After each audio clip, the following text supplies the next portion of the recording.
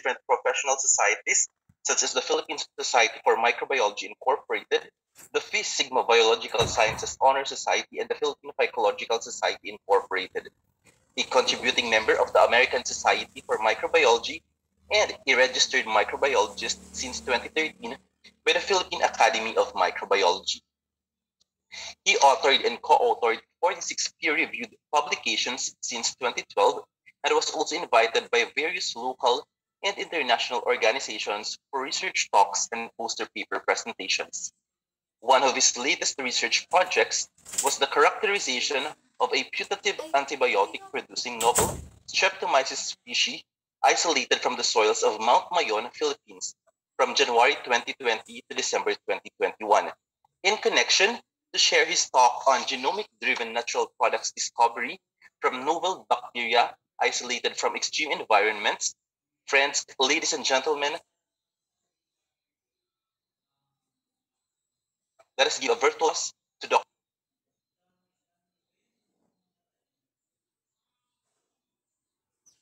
Uh, hello, uh, good morning to everyone here in the convention, virtual convention. Uh, can everyone hear me? Yes, sir. Good morning. Hello, good morning, Professor Vargas. Thank you for the very uh, lengthy and extensive introduction of myself. Uh, I'll just quickly share my slide here.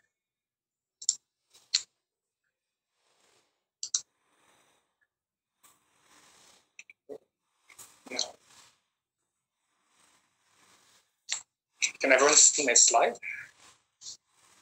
Yes, sir, it's visible now. Okay, thank you. Uh, so for today's seminar, uh, what I'll be presenting will be uh, three projects uh, that I essentially help uh, fellow Filipino students uh, while I was based in Canada, which is on the genomics-driven natural product discovery of novel bacteria isolated from, I would say, relatively extreme environments. Uh, currently, um, I'm back here in the country after 15 years of being away and uh, taking trainings overseas.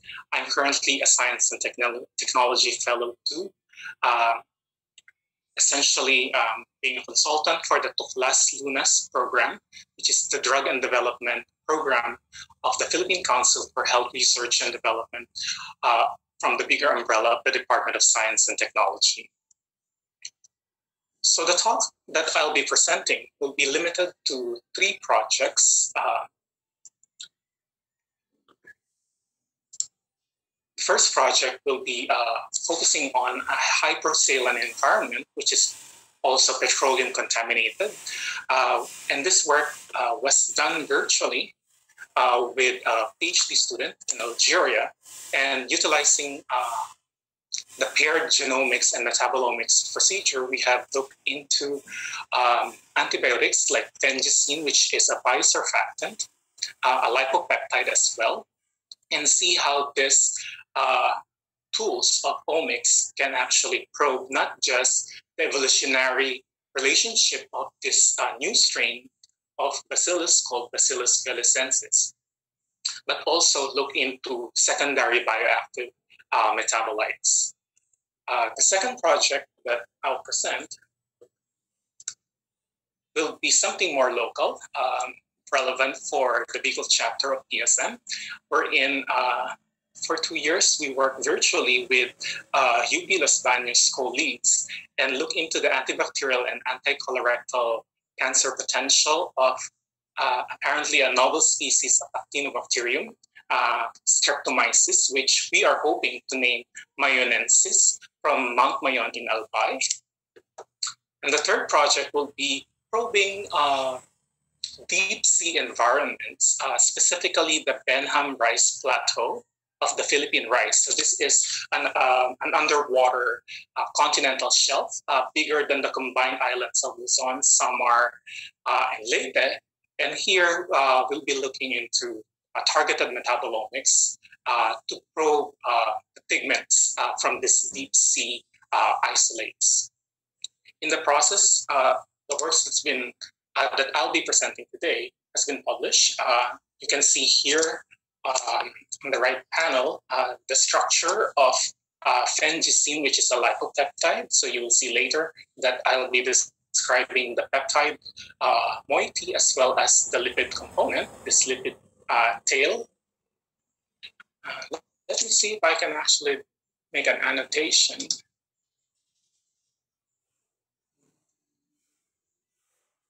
I guess not. Uh, the second uh, component will be looking into procedures that identify uh, the bioactivity of uh, certain food extracts of the Actinobacterium from Mayon.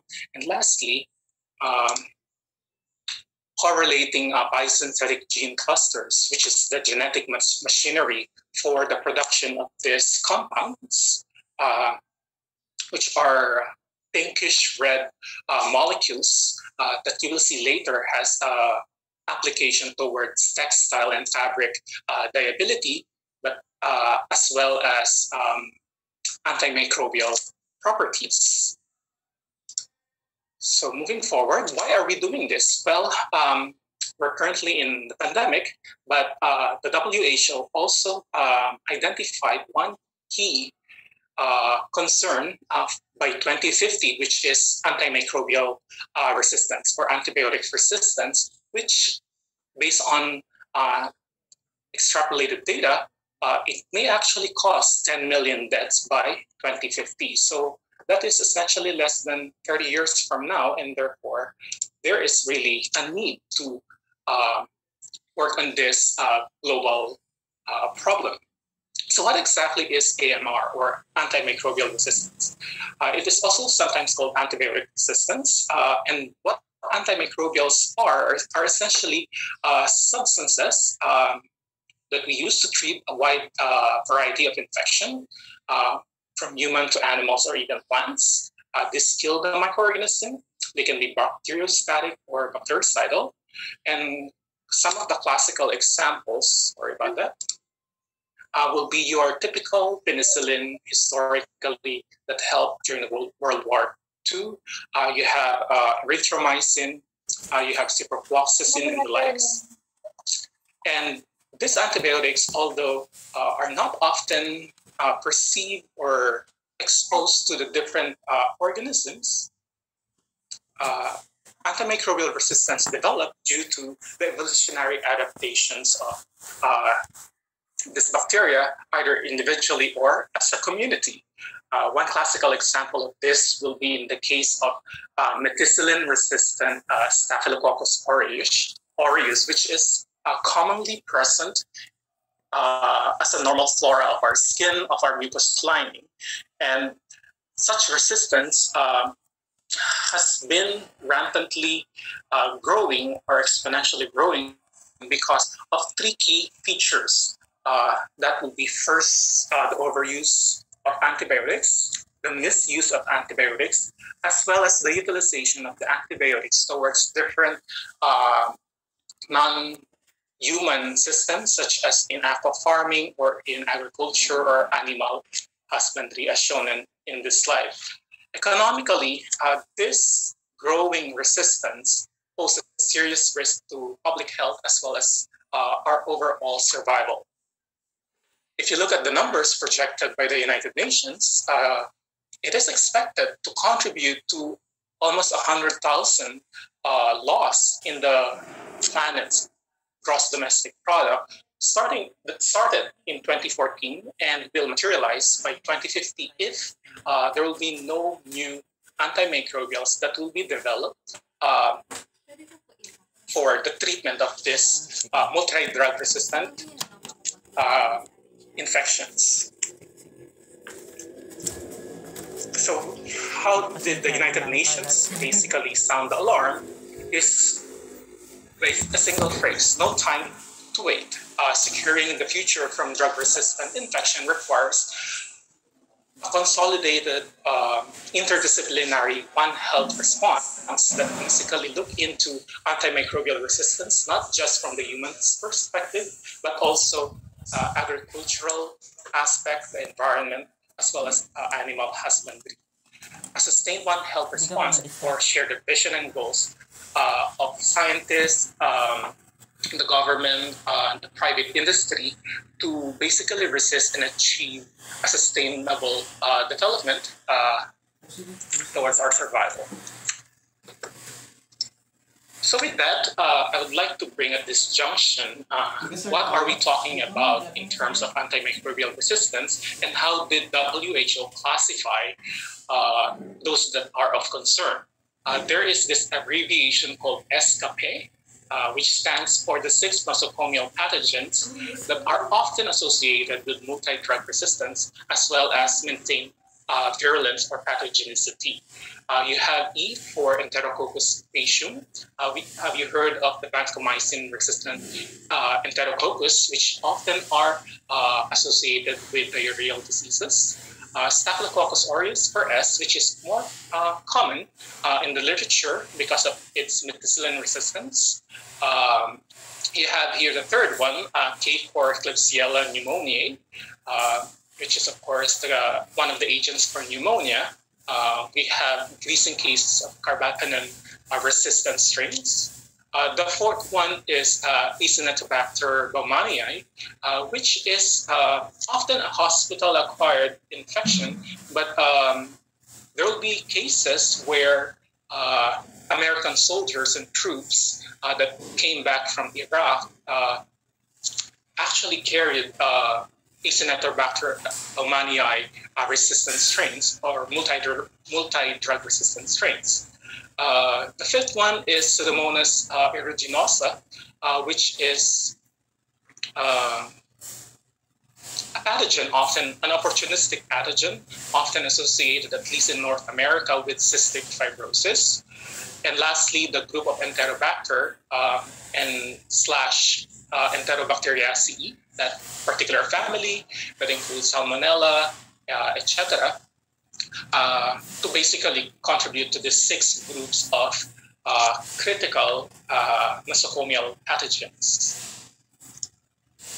So I would like to quote uh, the principal contributor for uh, the identification of those six ESCAPE uh, microorganisms that new antibiotics targeting that particular list uh, will help to reduce uh, deaths due to resistant infections around the world. So while we're battling this uh, pandemic, this COVID pandemic, uh, the explosion of the omics field uh, can also be utilized uh, not just for gene sequencing to identify evolutionary um, events or uh,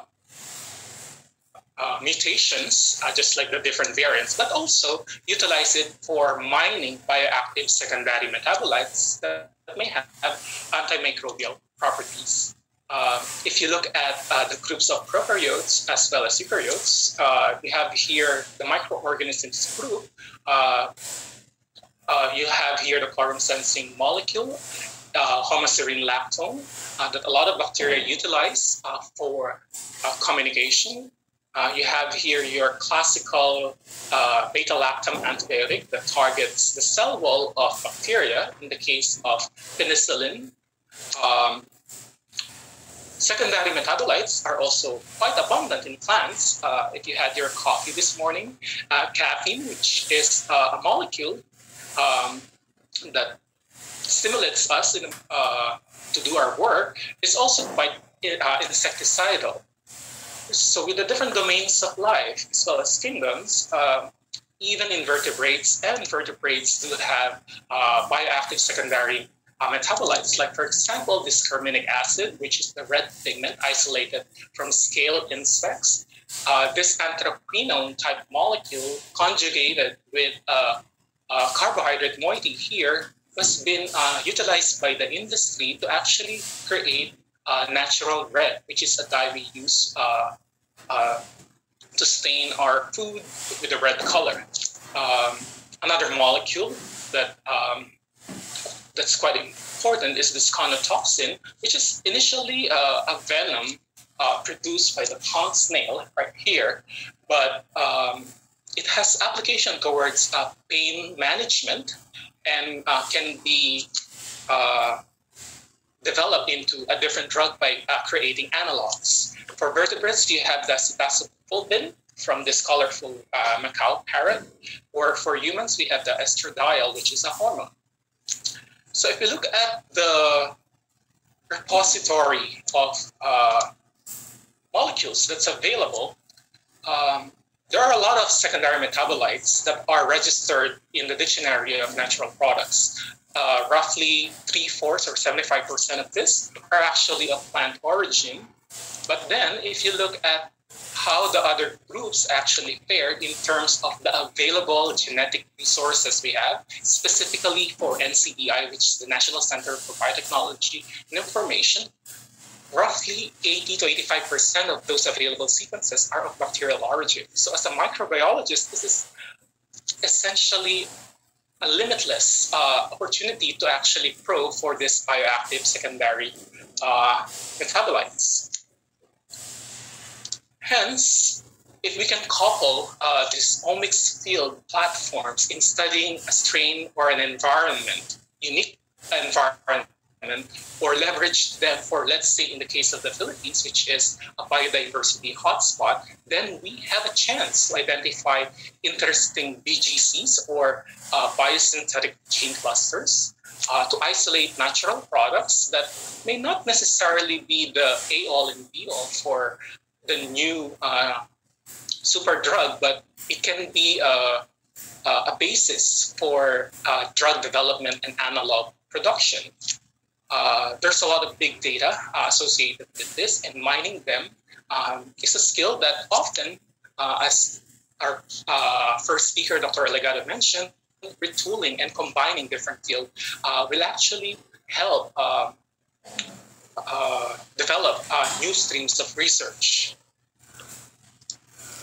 Uh, so in the lab that I came from, uh, in the University of Alberta, we utilize uh, genomics and bioinformatic tools uh, for sequencing molecules, uh, sequencing the DNA of the organism, identify, of course, the classical genotype and phenotype of the organism, and utilize computational tools to establish not just the evolutionary phylogenetic relationship, from the basic uh, standpoint, but also uh, into the applied uh, sphere of secondary met- metabolite uh, prediction. To do so, we coupled this uh, genomics more on the biological field with chemistry by utilizing proteomics and metabolomics tools. Uh, here, we often use HPLC uh, MALDI-TOF uh, mass spectrometry, as well as NMR or nuclear magnetic resonance to elucidate uh, and correlate uh, the molecules, especially if they're novel, uh, with the genetic sequences. That brings me to the first project that uh, I worked on a couple of years back, four years ago, which is a collaborative work with then student uh, Mohammed Bass uh, from Algeria, who's part of the Agri- Agricultural Research Center of the country, wherein uh, we probe uh, hypersaline lake in his country. Uh, so here's the map of Algeria uh, in Africa, and there are certain landlocked uh, lakes within the region and this is uh, the picture of the lake that was being sampled uh, in Ain Baida. Uh, it's a hypersaline lake uh, with salinity ranging from 5 to 27%, depending upon the season, whether it's a rainy or drought season. And if you compare the salinity range, it's actually higher than seawater at 3.5% petroleum mining is an industry in that region, and hence uh, a lot of these lakes are often contaminated with uh, petroleum or oil. If we then compare how, from a regular perspective, how this hypersaline environment fared with, let's say, our drinking water, which is at zero parts per thousand, then it's actually at the top area, these briny lakes, uh, mangrove areas or estuarine regions are often half uh, parts per thousand, half percent. And then you have the ocean at uh, 30 parts per thousand. And this uh, hypersaline lakes are at 50% or 50 parts per thousand. Therefore, this so-called extreme environment, uh, from my experience, is a good uh, opportunity to probe and isolate microorganisms and look for the next uh, drug or drug candidate. So the approach that uh, we employ uh, is a paired genomics and metabolomics, often targeted. Uh, and of course, to establish this, or at least be convinced that it's uh, good to pursue, uh, we look for the biological activity first by sort of classical microbiological phenotype characterization. And of course, uh, there is a routine isolate characterization uh, involving biochemical and microbiological procedures, as well as the target phenotype, which in, in our case initially is an oil degradation absorption phenotype. To do so, uh, we employed and looked for the Draps collapse, collapse method, i.e., how uh, the molecules or the oil can be uh, dissolved or how it can be mixed in, uh, in an aqueous uh, solution, like in the emulsification assay. And what we have seen thus far is that uh, the organisms that we have tested, the bacillus species, uh, can reach up to 80% biosurfactant or emulsification index, which is a good indication that uh, it can be utilized for oil bioremediation, at least in the region of Algeria.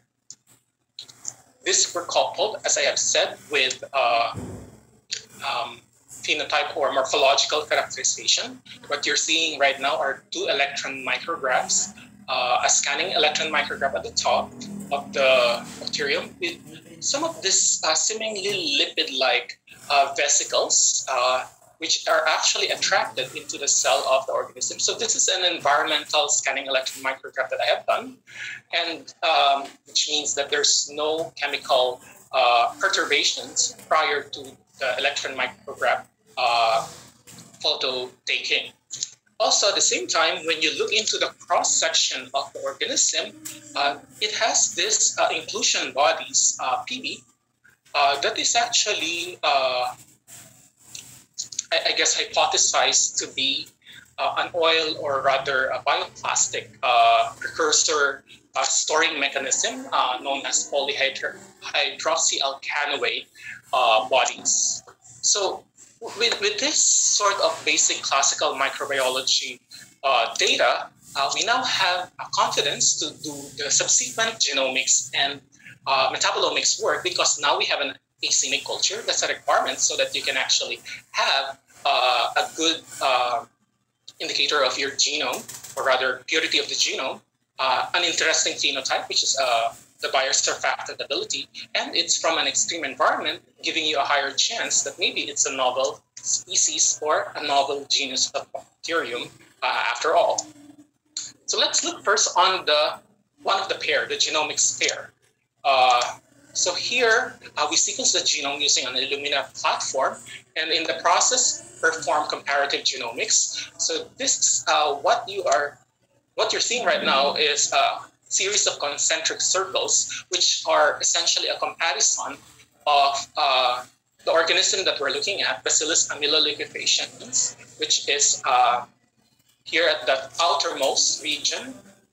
And then as you go into the interior of this so-called circular chart, uh, uh, you will see the other type strain species and comparing them from the genetic uh, point of view. And for the most part, you can see that a lot of the red regions are actually more than 90% identical. So that's a good indicator that at least the organization of this, okay, my mouse, yeah, okay, uh, an indication that you are on the right sort of identity, identity for the organism. We then created the whole genome phylogenetic tree uh, based on the available uh, type strain species. And what we have found is that there is a need to actually reclassify a lot of the identified Bacillus amyloliquefaciens subspecies plantarum deposited in the NCBI database uh, and propose a different uh, species epithet, which is Bacillus belizensis. And this is where the isolate from Algeria actually clustered. Interesting enough is that uh, the subspecies amyloliquefaciens was also uh, seemingly requiring reclassification. For example, this Bacillus subtilis uh, American type strain culture collection uh, is actually misidentified. So this is one of the, the, the strength of genomics nowadays because you can actually reclassify and correct uh, species name in, in the databases. Apart from that, the availability of the genome also made us to look into the genetic uh, determinants for the biosurfactant uh, molecule, which was observed in the phenotype. Uh, and here we identified the complete uh, cluster for uh, this fen operon, the phengisine operon, a five-member gene operon. And in the process, uh, we can now look into the other half of our approach, which is metabolomics, now that we can see the genetic blueprint for the biosurfactant production. With such presumptive evidence, uh, the correlation between the phenotype and genotype can then be probed using metabolomics. So this is sort of an abridged version of the procedure that we actually do in the lab. Uh, it's a three-stage purification uh, of the supernatant, uh, your classically fermented uh, Bacillus pelecensis culture, uh, which then utilize uh, hydrophobic type of resin called amberlite. And in this column, it will be subjected in an increasing level of alcohol. And in the process, the fractions that's being separated will undergo uh, canonical uh, bioassay procedure, whether it's a spot on lawn or a disc diffusion assay. So these are the two sort of uh, organisms we use in the lab. We have the gram-positive lactobacilli Carnobacterium divergens, uh, as well as uh, Salmonella enterica representing the gram-negative. And as you can see in those zones of clearing, uh, the different crude extracts or fractionated extracts are actually being separated based on its activity. Hence, for this purpose, we're actually using an activity-guided fractionation uh, meta targeted metabolomics. This procedure will undergo bioassay 2, which uh, after the detection of, let's say, the 80% fraction, isopropanol fraction, you can then further separate this using a C18 cartridge uh, column, which is another hydrophobic type of fractionation procedure, uh, but mainly targeting the lipid uh, moiety of the phengisine molecule. Last but not the least, uh, the last procedure uh, entails an extensive HPLC purification so that we can identify and hopefully elucidate the structure of the molecules using further uh, chemistry, analytical chemistry tools. To do so, uh, we perform tandem mass spectrometry of the phengisine uh, molecules. And here you can see a commercial phengisine with uh, the peaks uh, presented here. And for the crude extracts and fractions that we have extracted, we can now see how the fragmentation of this peptide uh, molecule will be a signature relative to the length of the um, lipid or the aliphatic side chain. So the first one is phengisine A with a C14 tail, meaning there are, there are 14 carbon in, in that uh, aliphatic side chain. And you can see from this fragmentation profile, together with another analog of phengisine A, one can actually do sort of a reverse engineering as to how the fragments, once the tandem mass spec MSMS will cut the amide bond of the different amino acid. These signatures will actually be a signature of an, of an amino acid and therefore you can reconstruct the molecule itself. Last but not the least, there is another analog, uh, B, with a C14 tail. And the only difference is that this alanine moiety right here was substituted with a valine uh, residue to create phengisine. From here, uh, we were able to identify four phengisine analogs, including a C16, 15, and 14 for phengisine A, as well as uh, C15 for phengisine B. So with that, how does this phengisine fit into the ESCAPE and AMR story? Well, uh, phengisine A, being a lipopeptide of the non-ribosomal peptide synthase cluster, uh, has a effectivity or at least activity against Staph aureus, Klebsiella pneumoniae, and Pseudomonas aeruginosa. And in fact, in the same year that we published our work, uh, the group of Otto uh, in Germany actually utilized uh, bacillus strains that produce fangicin A as a probiotic, and they were able to decode that the pathogen uh, Staph aureus is actually mitigated or killed via the action of fengicine on a specific molecule called ARC-C, and the cascade by which fengicine block this phosphorylation step will then uh, down-regulate uh, toxin production in Staph aureus and therefore can be killed in, let's say, a methicillin-resistant type of infection. So with that, uh, I'll be moving on to project number two, which is uh, the novel bioactive isolate, uh, Streptomyces maionensis, which is the work that I collaborated with uh, Professor Cristel Oliveros from the University of the Philippines in Las Bañas and see how the antibacterial and anti-cancer potential of this isolate may actually drive drug discovery or rather uh, drug development. So again, um, the approach that I'll be presenting in the three sort of projects will be appeared uh, genomics and, uh, and activity guided uh, metabolomics. Uh, we established the genome of this large uh, GC or guanine cytosine rich uh, actinobacterium. So there's a little bit of um, challenges in terms of sequencing the entire genome. But we then focus more on the escape as well, uh, a Vibrio cholera pandemic strain, to look into the suitability of the extracts in actually creating or rather uh, killing these uh, bugs. Furthermore, with the availability of the genomes, we then look into uh, certain gene clusters for which are actually already known. Uh, two of the antibiotics are called al- alva-flavanone right here, a bicyclic ketone molecule. Uh, and you have here um, uh, which is also detected in the genome uh, with clusters. Again, uh, we look into uh, isolating and, phenotype of the isolate uh, of the cultures.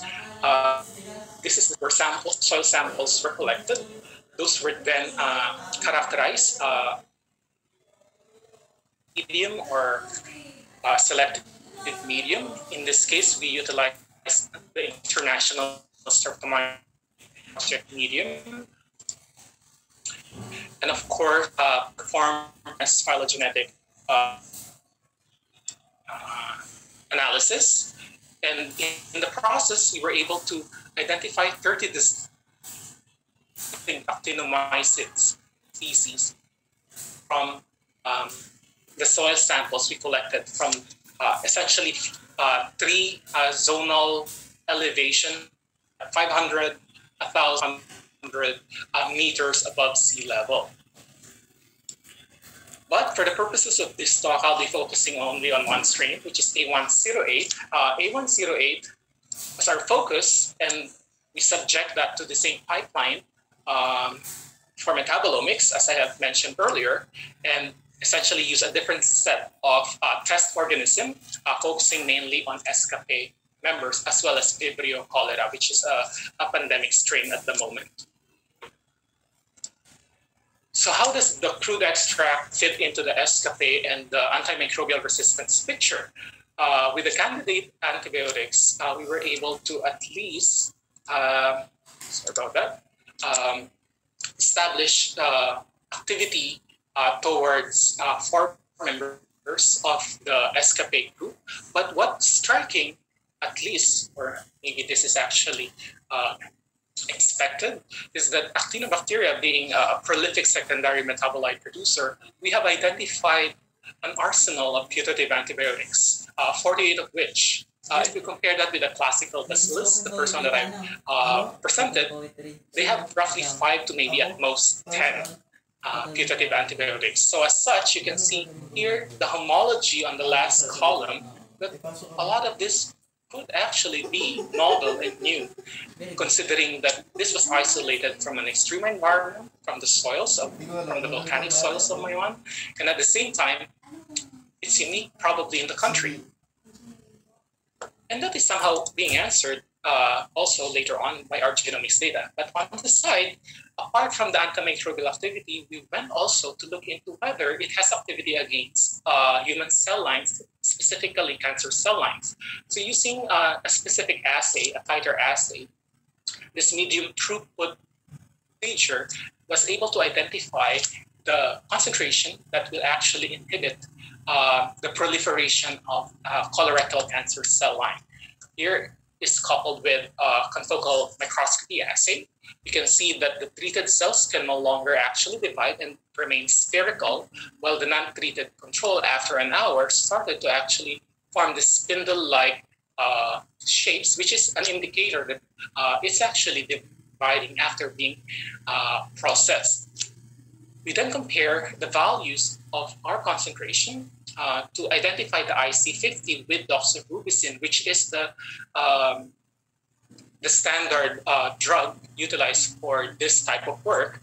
And although the value we found is 21.54, which is extremely high, meaning it's not as effective as the purified doxorubicin, kindly take note that this is an ethyl acetate extract and it's a mixture uh, of the different metabolites of this Streptomyces mayonensis. So this is something that uh, we are going to probe uh, in the future and see which is the actual molecule responsible for uh, the anti-colorectal property.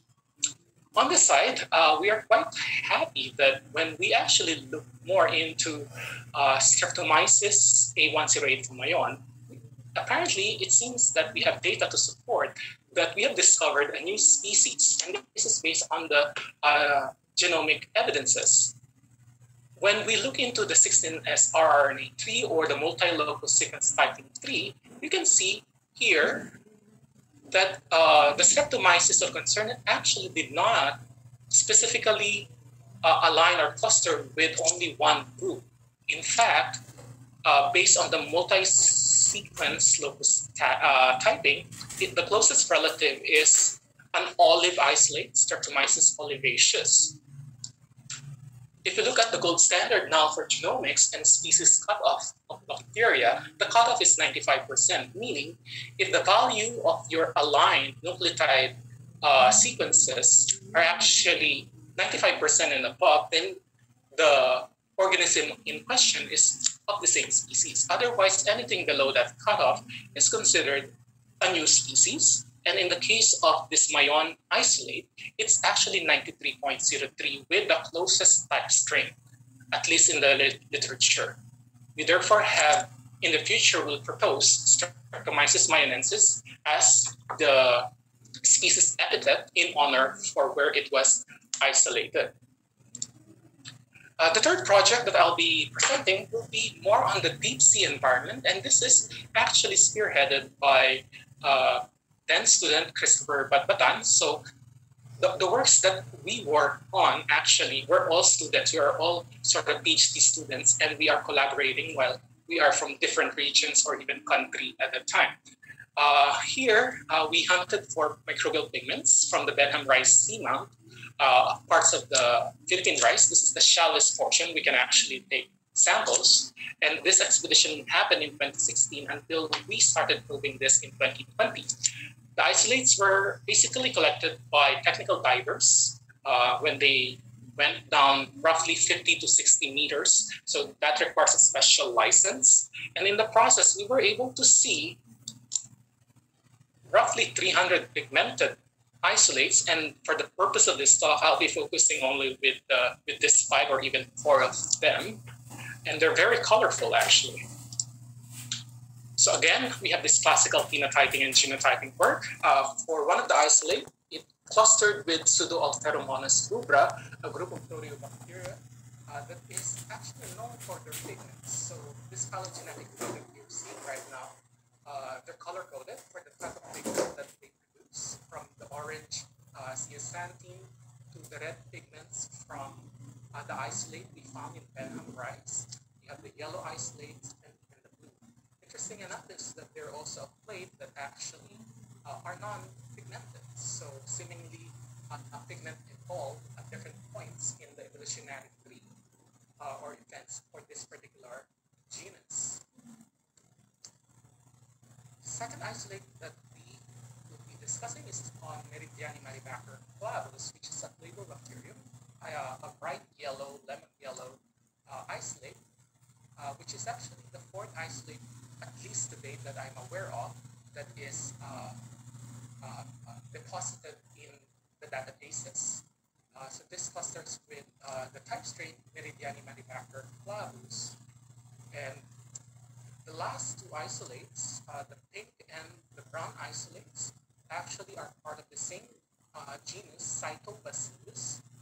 one clusters with uh, Cytobacillus infantis, uh, while the other one clusters with uh, Cytobacillus oceanis feminis. So with this in mind, uh, and uh, the cynic isolate also coming from, I guess, the first exploration of this kind of environment that one may may not necessarily be extreme, but not everyone can actually go there. So we're quite lucky to actually have an access to these samples. We were able to establish their genomes. Uh, so these data are not yet published. We're in the process of writing the manuscript. Uh, but we have at least probed where could be the carotenoid for the pink pigment, uh, pigmented isolate, or the zeaxanthin yellow pigment, or the isorhynarethrin pigment. So these are the homology of the different uh, biosynthetic clusters uh, with the organism. So with this in mind, we can now move on to the latter half of our paired approach, which is metabolomics. So using a procedure to extract the pigments, uh, either by acetone or hexane, we're able to focus on one of the strains, mainly because one phenotype that we are after, which is the textile or dyeability potential. So this one is quite good. Using a, a solid scaffold, in this case a cotton ball, uh, you can actually induce the pigment to actually produce quite well, maybe as a function of quorum sensing. Just quickly checking, I still have 10 minutes right here. Um, you can dye uh, fabrics from rayon to dacron to silk and gives you a pink color. Uh, then isolate uh, this pink uh, molecule uh, using PLC as well as silicon column and subject the, the crude extract using uh, Fourier transform spectroscopy, infrared spectroscopy, as well as uh, separate them and identify the mass using LCMS uh, spectrometry. And what we have found is a unique signature for a post-protogyny structure. This protogyny structure is uh, a tricyclic molecule with a lipid side chain mainly uh, with this uh, uh, amino NH type of molecule with an ether side chain as well. So although this, the molecule we have is uh, quite small, uh, we were not able to do a tandem mass spec. We're in here fragmenting the entire molecule, but at least looking into this, we are proposing a family of protogyny pigments which if we look into the genome of known uh, or deposited uh, Pseudoalteromonas uh, rubra, we can see a good correspondence with established biosynthetic gene cluster with another red pigmented uh, bacterium, Serratia uh. And this conservation is quite present across the board for all deposited genomes of uh, Pseudoalteromonas rubra, with a homology of at least 70%. So that's fairly uh, high uh, and may support the actual ability of our isolate to produce uh, or proteogysin. To, to actually uh, corroborate such claims, we perform further LCMS spectrometry and we have identified at least three analogs of this protogynin pigments. A hexyl or a six carbon chain uh, methyl uh, moiety. You have the heptyl or a seven carbon chain tail uh, for the gyamine and an actual cycloids, wherein this uh, uh, tail, uh, this aliphatic chain, created this uh, uh, methyl uh, hexane uh, moiety. So we're quite happy that uh, we were able to identify the molecule as well as uh, the putative biosynthetic gene cluster. But how does this fit with escape and the antimicrobial resistance story? Well, uh, last year, the, the year that we published our work, a group in Indonesia actually isolated a similar strain, uh, Pseudoalteromonas rubra, uh, that produce uh, this prototype analogs, and it was shown actually to actually uh, to kill uh, Staph aureus, uh, Salmonella typhi, and E. coli. So although our initial plan to look for the pigments uh, deviated, uh, we still have the potential of maybe looking our heptyl or hexyl analog and whether that is uh, effective in also killing Staph aureus or inhibiting at least uh, this SFA sets of pathogens. Uh, as for the other isolates, uh, the availability of the genomes required time to actually isolate the pigments. Uh, we, at the moment, have data on our HPLC traces. And based on the genome, we are proposing certain molecules like this carotenoid, zeaxanthin, and isorenaricane that, of course, will require those uh, analytical chemistry tools. The last slides that I'll be showing will essentially be uh, a summary uh, leading slide. Uh, so for this talk, I have shown you three projects uh, uh, exploring three different environments uh, in two different countries. And with the current pandemic, there's a lot of virtual communication and I guess management for this type of work. First one, I have shown you how genomics was utilized as a tool to reclassify uh, Bacillus amelilibri patients to Bellicentins. Uh, we have data to show to correlate gene clusters with the biosurfactant gene biosynthesis and using bioactivity guided metabolomics to identify four analogs. In the future, we're hoping that uh, we can also look into the possibility of uh, either a homologous or a heterologous type of probiotic to actually look into its MRSA. The second project, uh, we were able to show uh, and reveal a novel species of Streptomyces from uh, Albay, from the Mayon volcano, and the extracts of which, uh, which we are also uh, pursuing, uh, show potential antibacterial and anti-cancer properties. Uh, hopefully, we'll be able to have the rights to actually propose for its name, unless, know, in this game of uh, genomics, if another species of Streptomyces will be isolated, let's say another volcano, I don't know, uh, in Pinatubo or in Taal or uh, whatever else, Hibo then maybe the name will be different. Uh, we're also interested in elucidating the actual molecule that uh, uh, shows anti-cancer uh, potential. Last but not the least, we have shown uh, for the first time probing four uh, species of marine bacteria from Benham rice, the first in the country, and identify uh, potential loci to probe in the future for the pigment biosynthesis. the bio, the protogynin family of pigments hmm. can be utilized as the guide and we can also elucidate and correlate whether uh, these pigments can be utilized for the escapade type of work. So with that, uh, thank you very much for your attention and for listening to my talk. Um, I guess the last sort of message I would like to share is that the time is now. To be a responsible antibiotic producer. Thank you.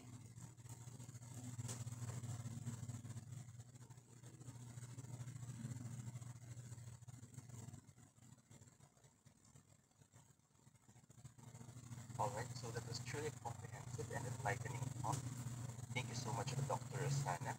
So it's really alarming that um, in less than 30 years, there might be 10 million um, antibiotic resistant death, resistance deaths. So that is why, as what Dr. Asana reiterated, there is really a need um, to work on this global problem. So we learned a lot from the points of the project isolation on extreme environment. So microorganisms in the soil and in, and in the ocean is really dominant in our planet. So they play an important role in the regulation of nature, geochemical cycles, as well as a potential and potentially constitute on the discovery of genomic-driven natural products. So once again, thank you, Dr. Sanas. So if you have any questions or clarifications to our speaker, you may reserve them later during the open forum, or you may keep your questions coming in the chat box so that are working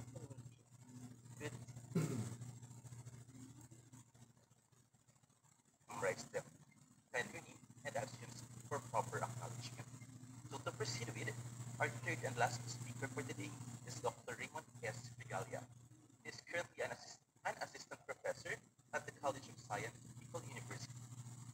He is also the study leader, the study leader of various academic research projects, such as meso and microplastic plants as potential vectors of antimicrobial resistant Vibrio species from February 2020 to present, and the validation of the genotypic characteristics of selected healing varieties using SSR markers healing nicer program from August 2021 to present. He graduated his Doctor of Philosophy in Biotechnology at the University of New South Wales in Sydney, Australia in 2016 and a recipient of the Australian Leadership Awards for PhD scholarship. He earned his master's degree in microbiology at the University of the Philippines, Diliman in 2007 and his bachelor's degree in biology, major in microbiology at the University of the Philippines, Los Baños in 1996. Aside from his experience in the academy as a professor, he has held several positions in the academy in the field of research, being the science research specialist at the Marine Science Institute of UP Diliman and as a university research associate at the Department of Medical Microbiology, College of Public Health, UP Manila. He also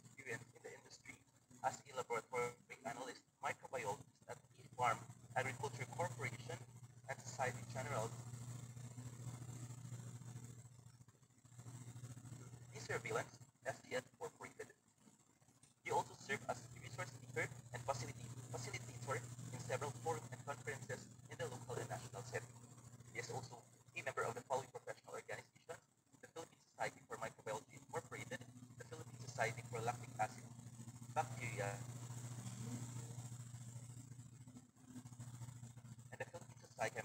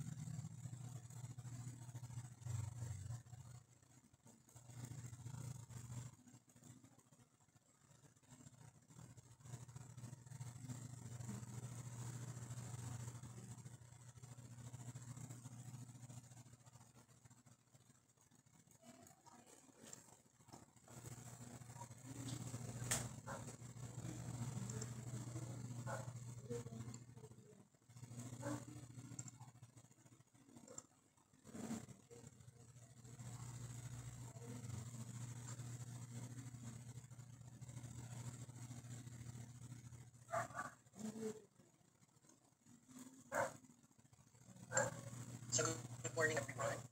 Um, uh, audio check and video check. Audible and visible. So uh, thank you, Sir, for the introduction. Um, and of course, uh, thank you the Philippine Society for Microbiology chapter and the Philippine Society for uh, Microbiology National for uh, inviting me uh, talk uh, at this uh, convention and uh, to share uh, some of my experiences uh, of some of the work that I did uh, here in, in Australia.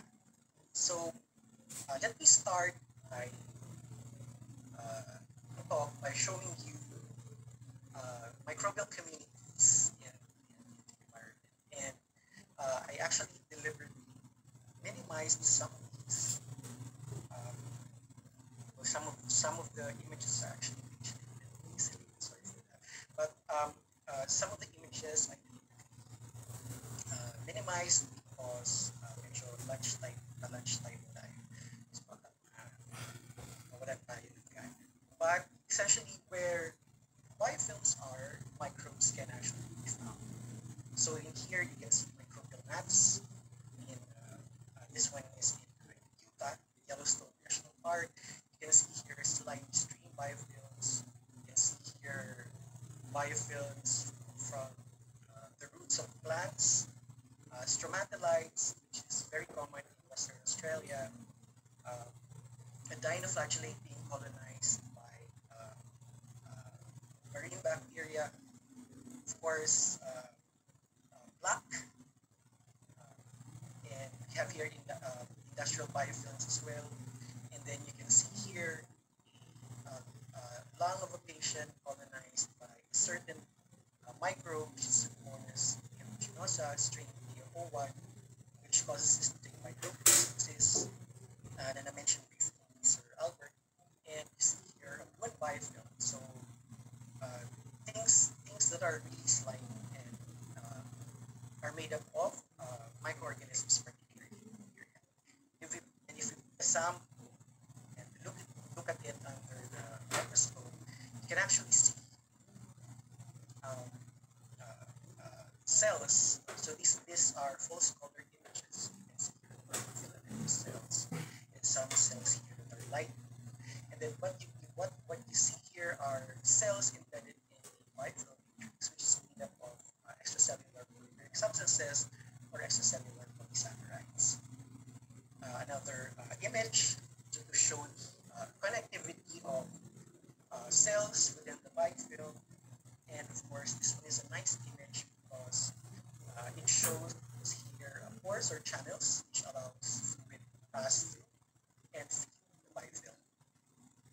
And this one uh, is a uh, scanning image or scanning electron micrograph image of the larger view of the cells. So individual cells here you can see that uh, is embedded in a matrix of uh, polysaccharides. So um, why do uh, microorganisms, particularly bacteria, form biofilms? Essentially, it is because uh, they want to protect themselves from environmental stresses, um, ultraviolet light, uh, ultraviolet uh, uh, rays, uh, temperature, pH, nutrient loss, and starvation, and of course, uh, free radicals.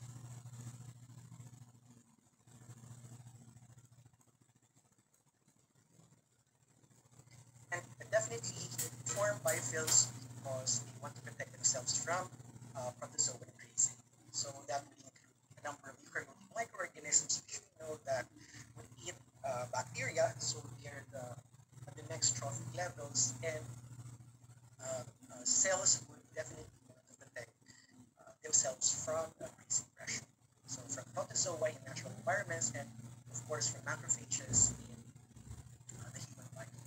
course, not to mention